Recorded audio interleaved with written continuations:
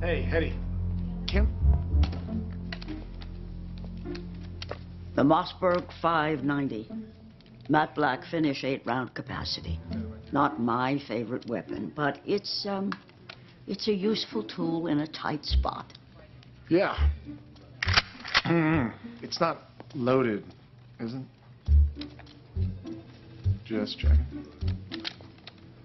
I do prefer it with the upper Picatinny rail and the modified standard heat shield.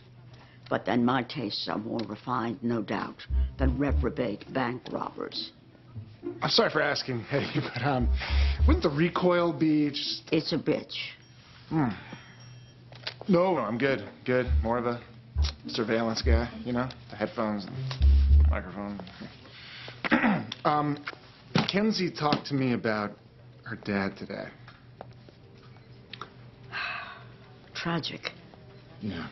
You know, it's still an open case. Well, she said she still had some questions for some of the guys who were supposed to be with him that night. They're out there somewhere. What happens when she finds them? How do you know she hasn't already?